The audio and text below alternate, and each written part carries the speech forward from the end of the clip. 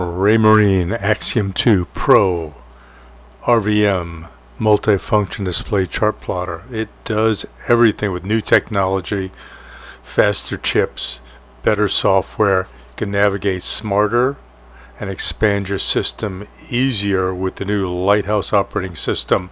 It's got hybrid touch screen, so it's touch screen control.